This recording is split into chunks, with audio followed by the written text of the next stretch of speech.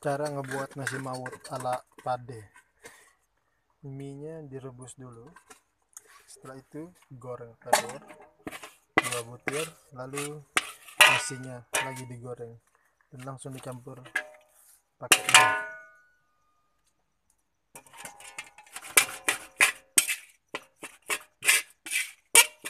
dan diulek.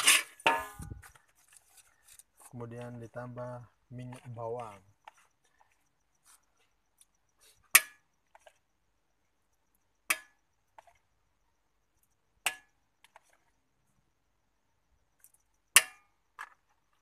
oke secukupnya. Lalu diaduk sementara apinya belum dinyalakan. Alright itu yang namanya Pak D. Ganteng ya? ganteng. Cakep kan? cakep. Mirip Muhammad Nur. Betul sekali.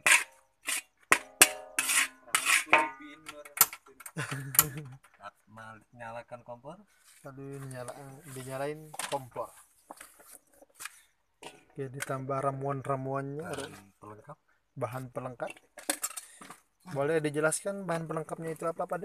ada ini eh, bahan pelengkapnya tuh terdiri dari sianida dikit, Oh maaf bukan cyanida Royco. Rasa ayam. Boleh rasa sapi. Kemudian garam secukupnya secukupnya ya.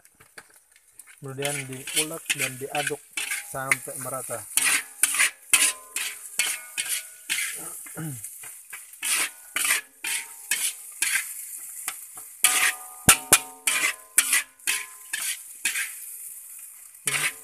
Diulek sampai merata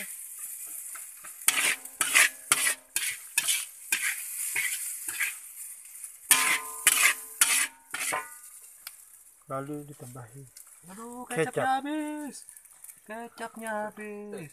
mendatangin ke akru nih kamar eh. Kacau. Dah beli nggak ke?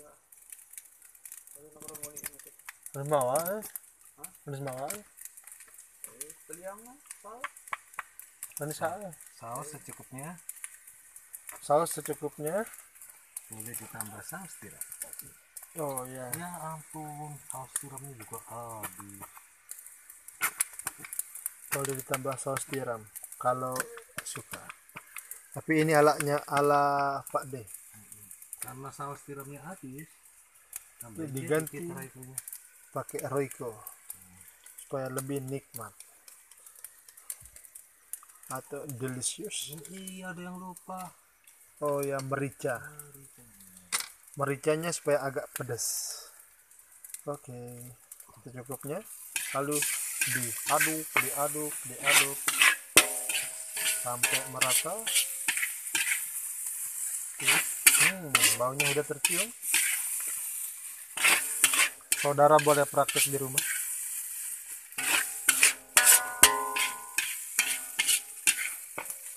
Ini Pak D asli Jawa Jawa Timur dari Surabaya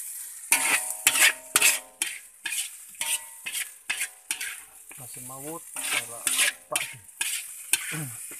wow asap-asapnya udah keluar dan ra- baunya wow nikmat sekali kemudian ditambah Potongan ayam. potongan ayam goreng bukan ayam sop ya ayam goreng Tapi ayamnya ini yang mati ya, jangan yang hidup.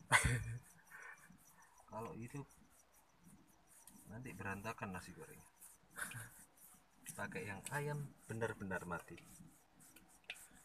Atau ayam ayam apa pada jangan ayam KFC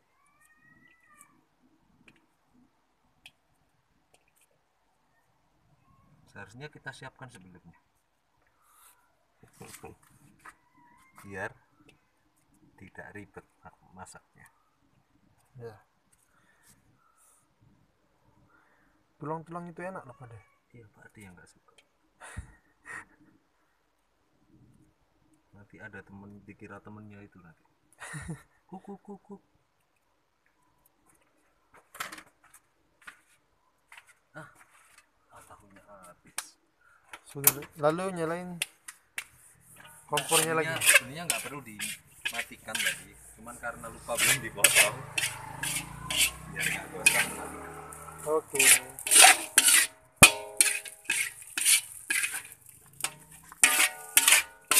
nasi goreng siap dihidangkan. Nasi goreng siap dihidangkan. Bahasa Inggrisnya tadi nasi goreng? Fried rice. Oh ya is ready to serve. Yes. Siap dihidangkan. Kalian boleh menyaksikan jangan lupa subscribe. Diman Mizwar jangan lupa subscribe ya. Nah, subscribe ya. Subscribe. Subscribe like and share. Ala Nah, Pak D. Pak D mau makan dulu. Terus sisain buat Axel. Besok dianget dipanasin. Harus ini aja kan. Hangat ya. Oh iya. Ndak ndak apa apa dia hmm. oke tinggal dimakan. Oh sedikit sekali pak Hmm? yuk.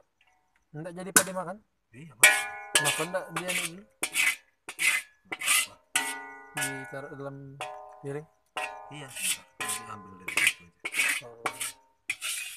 Oke, saatnya makan. Terima kasih